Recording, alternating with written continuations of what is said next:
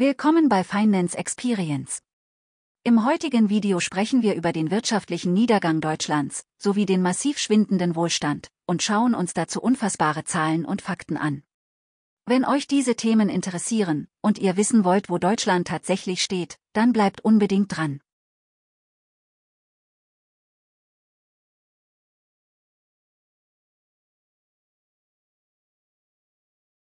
Bevor es losgeht noch ein kurzer Hinweis in eigener Sache, wie einige schon mitbekommen haben gibt's uns auch bei Telegram.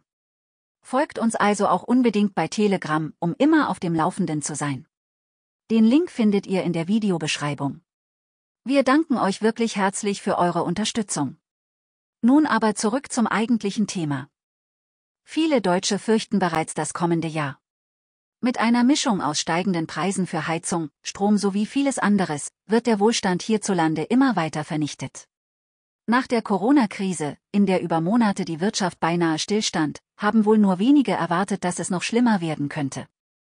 Tatsächlich wurde uns infolge der Corona-Krise vermittelt, dass wir mit einem blauen Auge davongekommen sind und mit einer baldigen wirtschaftlichen Erholung zu rechnen ist.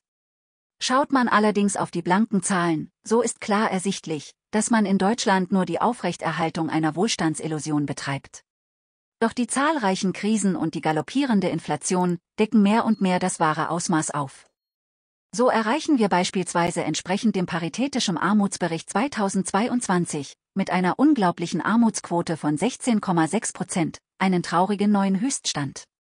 13,8 Millionen Menschen müssen demnach hierzulande zu den Armen gerechnet werden, das sind nochmal 600.000 Menschen mehr als noch vor der Corona-Krise.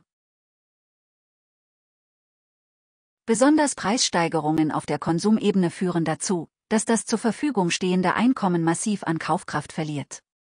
Laut Paritätischem Gesamtverband bedeutet das vor allem für Menschen, die auf Sozialleistungen angewiesen sind, dass sie bereits heute das Existenzminimum nicht mehr sichern können. Denn vergessen dürfen wir an dieser Stelle nicht, wenn Nahrungsmittel und Energie teurer werden, dann sind Menschen mit kleineren Einkommen natürlich besonders benachteiligt, da sie prozentual einen wesentlich größeren Teil ihres Einkommens für diese Produkte ausgeben müssen, als beispielsweise Menschen mit einem hohen Einkommen. Dass sich diese Entwicklung in Zukunft noch weiter verschärfen wird, darf mit hoher Wahrscheinlichkeit angenommen werden. Schon im September 2022 ergab eine Umfrage der Deutschen Bundesbank, dass sich rund 50 Prozent der Befragten große Sorgen über die steigenden Preise machen. Auch Armut und soziale Ungleichheit sowie militärische Konflikte sind nach wie vor Themen, über die sich die Deutschen große Sorgen machen. Tatsächlich sind schon heute immer mehr Menschen Tag für Tag mit der Frage konfrontiert, wie sie den täglichen Lebensunterhalt überhaupt noch bestreiten sollen. Dabei sind die hohen Kosten noch nicht einmal bei allen vollständig angekommen. Auch Bundesbankpräsident Nagel gibt für das kommende Jahr noch keine Entwarnung.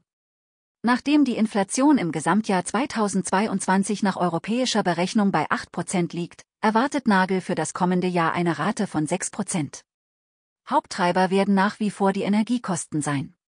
Ob man den offiziellen Zahlen nun Glauben schenken möchte oder eher nicht, spielt letztendlich nur eine untergeordnete Rolle, denn Fakt ist, die Inflation bleibt weiter hoch.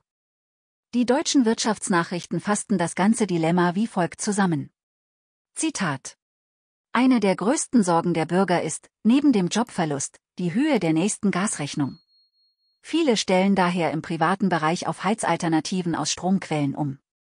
Die Folgen sind, dass von zahlreichen offiziellen Seiten auf einmal vor Blackouts gedroht wird. Was lange als unmöglich abgetan wurde, ist jetzt ein realistisches Szenario. Zitat Ende. Wir verlinken euch den Artikel in der Videobeschreibung. Dass der Wohlstand hierzulande mehr und mehr vernichtet wird, ist dabei kaum von der Hand zu weisen. Selbst Familien, bei denen beide Elternteile Vollzeit arbeiten gehen, stehen vor der immer größer werdenden Gefahr in finanzielle Schwierigkeiten zu geraten und könnten sogar in die Armutszone abrutschen. Auch der Deutsche Sparkassen- und Giroverband zeigte, dass bis zu 60 Prozent der deutschen Haushalte ihre gesamten monatlich verfügbaren Einkünfte für die reine Lebenshaltung ausgeben müssen. Laut dem Präsident des Deutschen Sparkassen- und Giroverbands Helmut Schleweis waren vor einem Jahr lediglich 15 Prozent nicht in der Lage, Geld zurückzulegen. Diese Zahlen verdeutlichen noch einmal das dramatische Ausmaß des Niedergangs unseres Mittelstandes. Die Zukunft scheint also alles andere als rosig. Äußerst nachdenklich macht auch folgende Aussage. Denn laut dem Chef des Deutschen Instituts für Wirtschaftsforschung Marcel Fratzscher könnte eine Phase von ein oder zwei Jahren anhaltender schwachen Wirtschaftsleistung einen permanenten Wohlstandsverlust in großen Teilen der Bevölkerung bedeuten. Und auch Deutsche Bank-Ökonom Stefan Schneider sagte, dass wenn wir in etwa zehn Jahren auf die aktuelle Energiekrise zurückblicken, könnten wir diese Zeit als Ausgangspunkt für eine beschleunigte Deindustrialisierung in Deutschland betrachten. Immerhin mussten bereits zahlreiche Stahlwerke, Aluminiumhersteller oder auch Chemiekonzerne ihre Produktionen zum Teil oder gänzlich einstellen. Es ist also nur eine Frage der Zeit, bis weitere Unternehmen die Lasten der hohen Energiepreise, Lieferkettenprobleme oder logistische sowie bürokratische Schwierigkeiten nicht mehr schultern können. So mahnte jüngst beispielsweise der Kettensägenunternehmer Nikolaus Stiel, dass Deutschland auf einen Kipppunkt zu steuere, an dem man hierzulande nicht mehr wettbewerbsfähig herstellen könne. Die Welt berichtete hierzu folgendes. Zitat. Deutschland sei schon immer ein relativ teurer Standort gewesen, bisher sei Stiel damit zurechtgekommen.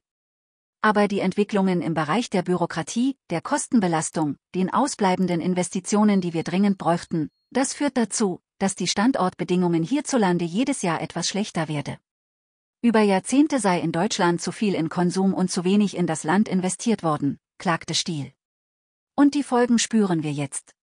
Die Große Koalition sei die wesentlichen Probleme nicht angegangen, und auch die Ampel gehe sie nicht an. Wir erneuern unsere Infrastruktur zu wenig, bauen zu wenig dazu und sind zu wenig innovativ. Wir schauen zu, wie uns die wichtigsten Wettbewerber auf der Welt, als da sind die USA und China, links und rechts überholen.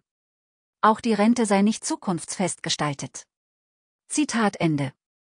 Den Aussagen von Nikolaus Stiel ist wohl nichts mehr hinzuzufügen, denn es beschreibt exakt die Probleme, die hier scheinbar niemand lösen kann oder will.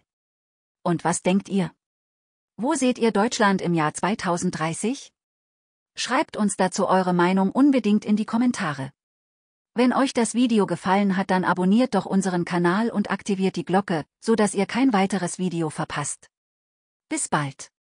Euer Team von Finance Experience